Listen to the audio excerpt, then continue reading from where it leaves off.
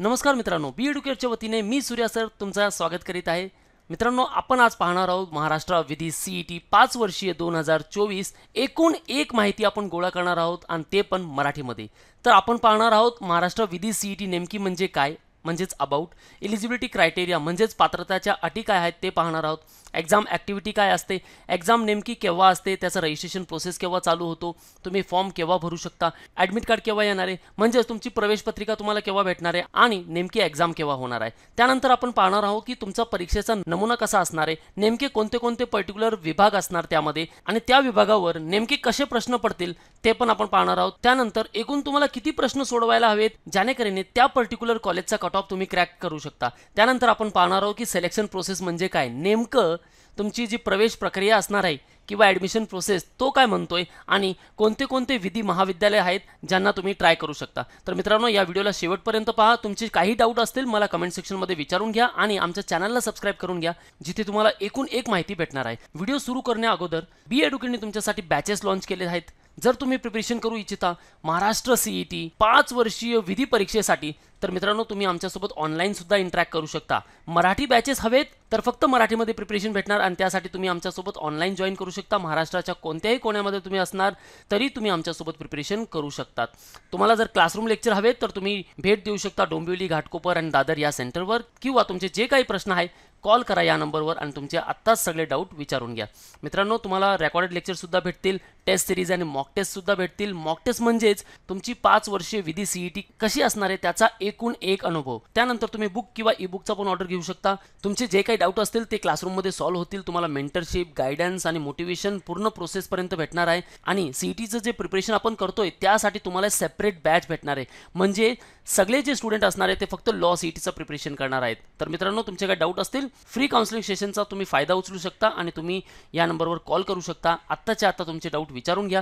जर विचारलं गेलं आणि आपल्याला सगळी माहिती भेटली तर मित्रांनो अजून काय हवं आहे तर डाउनलोड करा आमचा ॲप आत्ताच जिथे तुम्हाला काही रिसोर्सेस आणि मॉक्स भेटतील आणि प्रत्येक अपडेट आणि नोटिफिकेशनसाठी तुम्हाला काय करायचं आहे आमच्या चॅनलला फॉलो करायचं आहे यूट्यूबवर फेसबुक इन्स्टा किंवा टेलिग्रामवर तर मित्रांनो व्हिडिओ आपण स्टार्ट करूया. महाराष्ट्र विधी सी ई टी पाच वर्षीय नेमकी म्हणजे काय? तर commissioner state C E T cell आपण ऐकलाय बघा. लोगो पण आपण पाहिलाय.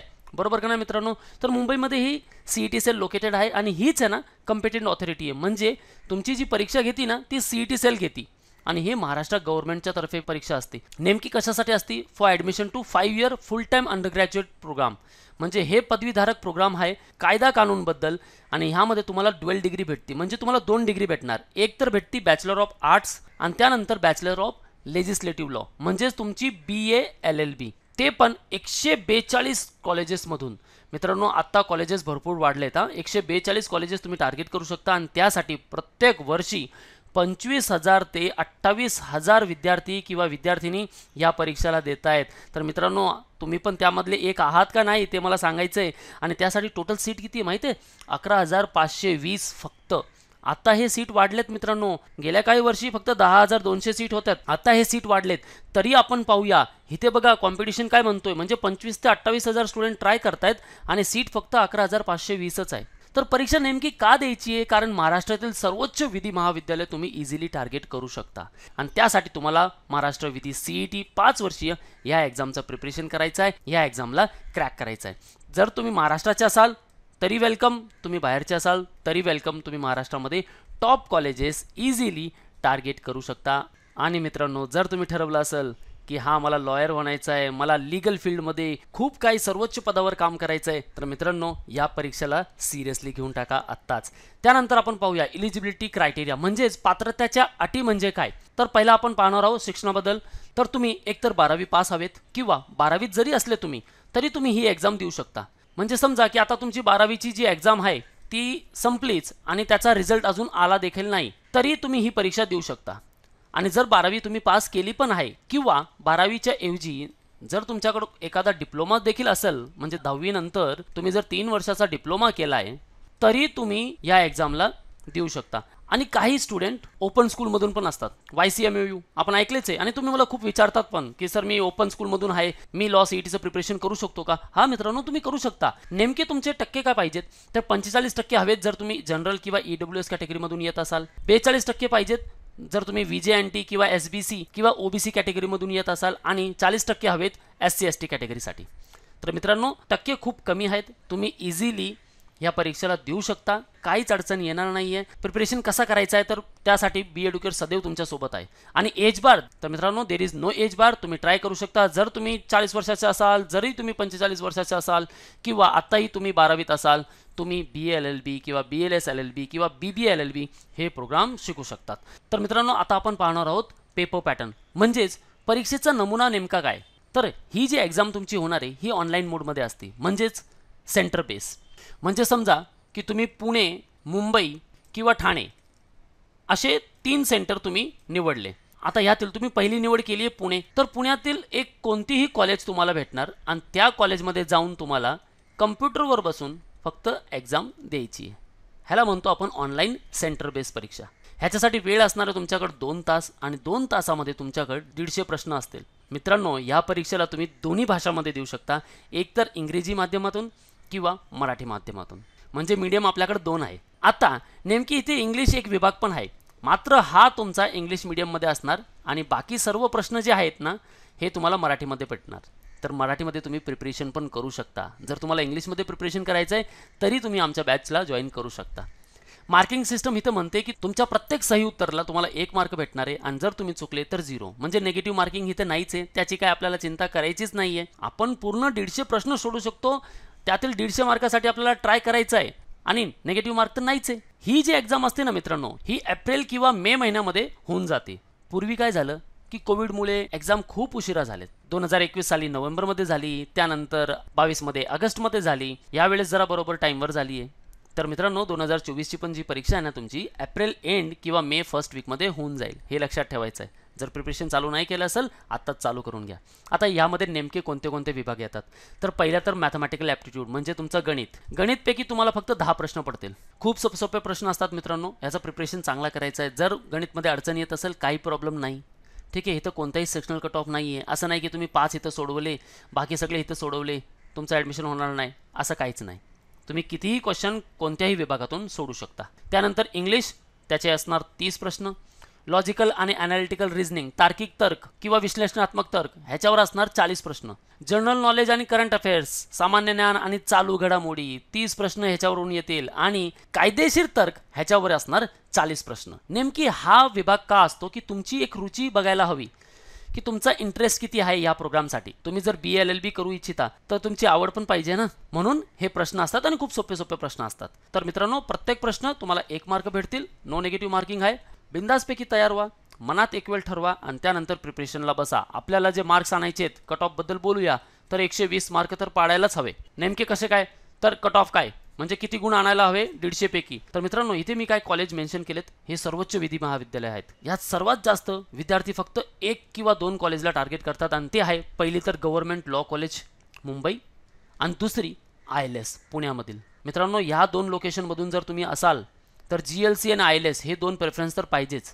पुण्यातील अजून दुसरी कॉलेज आहे एक फिरोदिया कॉलेज ही पण खूप चांगली कॉलेज आहे. आणि मुंबईमधली S V K M Pravin Gandhi college तुमचे जे मार्क्स आहेत ना मित्रांनो हे बघा इथं कॅटेगरी वाईज मी काय कट ऑफ मेन्शन केले आहेत.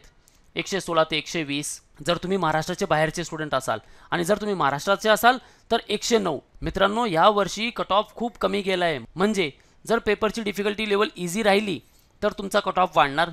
पेपर जर थोडासा पण डिफिकल्ट झाला तर तुमचा कट ऑफ जे आहे ते खाली जाणार. आणि तुमची निवड पण असते. जर प्रत्येक स्टुडंट फक्त जी एल सीला ट्राय करतोय तर डेफिनेटली ह्याचा कट ऑफ वाढणारच आहे. तर तुम्हाला काय करायचं माहिती आहे का? जर तुम्ही महाराष्ट्राचे बाहेरचे असाल तर तुम्हाला एकशे पंचवीस ते एकशे तीसपर्यंत स्कोर आणायचा आहे. आणि जर तुम्ही महाराष्ट्राचे असाल तर तुम्हाला एकशे वीसपर्यंत स्कोर आणायचाच आहे. जर तुम्ही कोणत्याही कॅटेगरीमधून असाल तर मित्रांनो हे कट ऑफ नाही बघायचे तुम्ही. तुम्हाला फक्त एकच बघायचं आहे की माझे जे स्कोर आहेत ते एकशे वीस असायला हवेत. एकशे वीस जर ठरवलं ना मित्रांनो एकशे दहापर्यंत तुम्ही इझिली येऊ शकता. आणि एकशे दहा जर पडले तुम्हाला कोणच रोखू नाही शकत त्या कॉलेजमध्ये जाण्यासाठी. मित्रांनो तुमचा ॲटिट्यूड असा असायला पाहिजे. हां बाबा मी असा प्रिपरेशन केलाय ना काहीच अडचण येणार नाही आहे इझिली आपल्याला पहिल्याच टप्प्यामध्ये ॲडमिशन भेटणार आहे. नेमकी प्रवेश प्रक्रिया काय असते? त्याच्यावर आपण बोलूया. तर सिलेक्शन प्रोसेस नेमकं काय होतं माहिती आहे का मित्रांनो? आता ही गव्हर्नमेंटची परीक्षा आहे. आता गव्हर्नमेंटची परीक्षा म्हणजे गव्हर्नमेंटने काहीतरी एक नियम बनवला असेल की त्या कॉलेजला तुम्ही कसं गाठू शकता?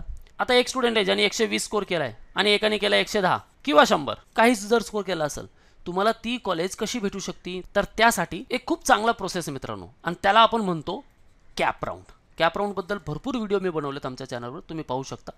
कॉमन ॲडमिशन प्रोसेस म्हणजेच सेंट्रलाइज ॲडमिशन प्रोसेस केंद्रीय प्रवेश प्रक्रिया. आणि ह्या प्रक्रियामध्ये काय काय होतो मित्रांनो?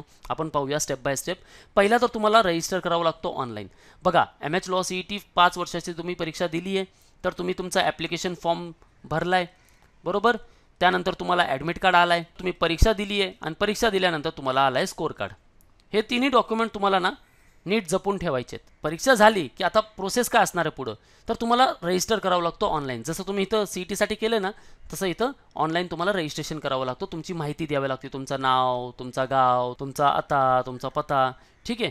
त्यानंतर तुमची प्रोफाईल क्रिएट करावं लागते. चांगली प्रोफाईल क्रिएट करायची. चांगला मस्तपैकी फोटो अपलोड करायचा सिग्नेचर अपलोड करायची. आणि नेमके काय काय कागदपत्र लागतील ते सगळे अपलोड करायचे. काय लागणार आहे? आपण पाहणार नंतर. त्यानंतर तुम्हाला निवड करायची कॉलेजची आता तुम्हाला एकशे वीस मार्क पडले. तुम्ही निवड करणार कोणत्याही पाच कॉलेजची कोणत्याही दहा कॉलेजची एकशे बेचाळीस कॉलेजेस आपण पाहिली ना तर एकशे बेचाळीस कॉलेज पण तुम्ही टार्गेट करू शकता. समजा तुम्ही पाच कॉलेजची निवड केली. एक दोन तीन चार आणि पाच हे कॉलेजेस दिली आणि त्यातील तुम्हाला चौथी कॉलेज भेटली. आता तुमच्या मनावर आहे की ह्याला फ्रीज करावं किंवा फ्लोट फ्रीज म्हणजे जमणे. फ्लोट म्हणजे पवणे आपण एका जागी जमलो. फ्रीज आपण पोहतोय.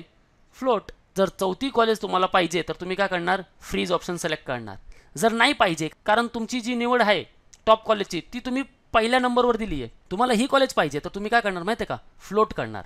आणि फ्लोट केल्यानंतर दुसऱ्या राऊंडमध्ये पार्टिसिपेट करणार. दुसऱ्या राऊंडमध्ये तुम्हाला ती जर कॉलेज भेटली तर तुम्ही काय करणार परत? फ्रीज ऑप्शन सिलेक्ट करणार. त्यानंतर एक पावती तुम्हाला काढायची आहे हजार रुपयाची हजार रुपये फीस भरायची आहे. आणि ही एक वन टाईम फीस असती एकदाच द्यायची तुम्हाला. ती फीस भरली की त्यानंतर त्या कॉलेजला जायचं आहे आणि तिथं तुमचे एकूण एक डॉक्युमेंट्स व्हेरीफाय करून ॲडमिशन घेऊन टाकायचं आहे. खूप सिंपल प्रोसेस आहे मित्रांनो. हा जो कॅप राऊंड असतो ना ह्याचे राऊंड असतात. एक दोन तीन आणि चौथा राऊंड चार असे राऊंड असतात. पहिल्या राऊंडमध्ये तुम्ही ऑप्शन दिले. तुम्हाला आवडलं ॲडमिशन घेतला. नाही आवडलं तुम्ही पुढं गेले दुसऱ्या राऊंडमध्ये दुसऱ्या राऊंडमध्ये कॉलेज भेटली ठीक आहे. नाही तिसऱ्या राऊंडमध्ये ट्राय करा. इथपर्यंत तुम्हाला कॉलेज भेटायलाच हवी. जर इथे नाही भेटली ना मित्रांनो तर चौथ्या राऊंडमध्ये चान्सेस कमी असतात. आता आपण पाहूया नेमकी कागदपत्रे काय काय लागतील. मित्रांनो ह्याचा तुम्ही स्क्रीनशॉट काढून घ्या. खूप इम्पॉर्टंट आहे. आता जर मी तुम्हाला विचारलं की तुमचं नाव काय आहे आणि तुम्ही सांगितलं माझं नाव रमेश आहे मी म्हणणार काय प्रूफ आहे बाबा? दाखव मला. तुम्ही काय करणार? तुमचा आय डी प्रूफ मला दाखवणार. बरोबर?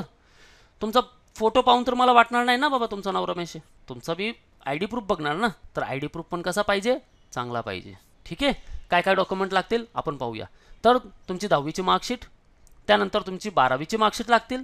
कोणताही डिप्लोमा जर तुम्ही दिला असेल तर त्या परीक्षेची मार्कशीट लागणार. त्यानंतर स्कूल लिव्हिंग सर्टिफिकेट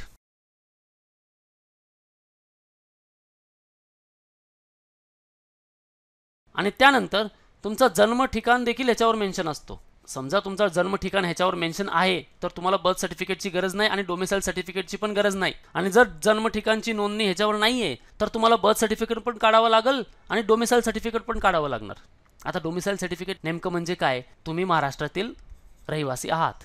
हे कसं माहीत पडणार? तुमच्याकडे रिस्पेक्टिव्ह सर्टिफिकेट पाहिजे ना?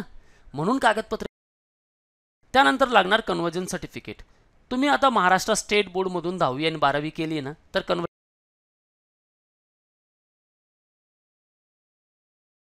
बोर्डमधून असाल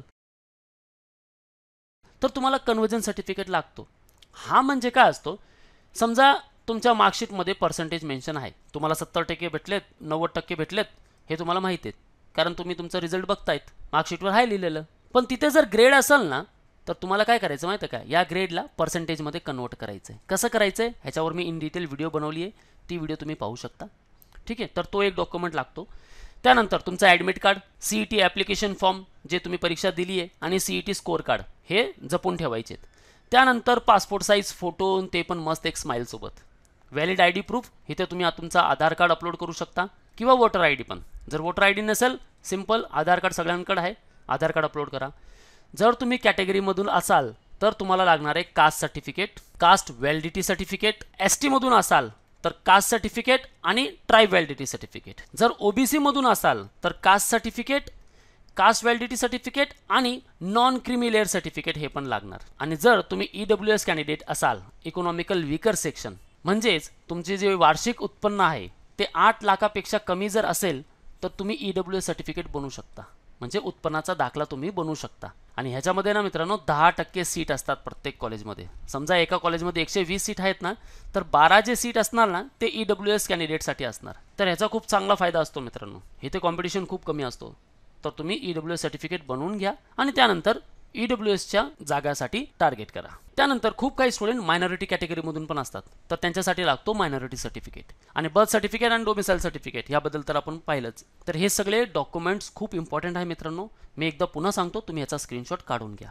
आणि त्यानंतर आपण पाहूया शीर्ष महाविद्यालय सर्वोच्च विधी महाविद्यालय कोणत्या कोणत्या आहे जे तुम्ही टार्गेट करू शकता. तर मित्रांनो इथे काही टॉप कॉलेजेस मी मेन्शन केले आहेत. जसे की G L C Mumbai I L S Pune S V K M Pravin Gandhi त्यानंतर नवलमल फिरोदिया कॉलेज पुणेमध्ये उमला university of Mumbai law academy मुंबईमध्ये ह्याचा एक सब कॅम्पस पण आहे ठाणेमध्ये. वसंतराव पवार लॉ कॉलेज खूप चांगले कॉलेज आहे. रिझवी लॉ कॉलेज मराठवाडा मित्रमंडळ शंकरराव चव्हाण कॉलेज पुणेमध्ये. त्यानंतर ठाण्याचे असाल तर आनंद विश्वा गुरुकुल या कॉलेजला टार्गेट करा. Advocate Balasaheb Apte college doctor D Y Patil college Nerul Navjeevan law college नाशिकमध्ये. त्यानंतर तुम्ही जळगावचे असाल तर एस एस मणियार कॉलेज खूप चांगले कॉलेज आहे गाईज त्यानंतर मॉडर्न लॉ कॉलेज पुण्यामधील पण ट्राय करू शकता. आणि R T M N U Nagpur. जर नागपूरचे असाल ना तर तुम्हाला R T M N U doctor Babasaheb Ambedkar college किंवा दीक्षाभूमी हे दोन कॉलेजेस खूप छान आहे मित्रांनो. यांना ट्राय करायचं आहे इथे अजून एक कॉलेज आहे सेंट्रल लॉ कॉलेज. खूप चांगले कॉलेज आहे. औरंगाबादचे असाल माणिकचंद पहाडे लॉ कॉलेज आणि ठाकूर रामनारायण कॉलेज मुंबईमध्ये. तर मित्रांनो खूप काय कॉलेजेस आहे आणि कॉलेजबद्दल ना मी एक प्लेलिस्ट बनवली आहे. कोणती कॉलेज नेमकी तुम्हाला ट्राय करायची आहे? त्याबद्दल ना तुम्ही ते प्लेलिस्टला पाहू शकता आणि तिथे किती स्कोर हवा ते पण तुम्ही पाहू शकता.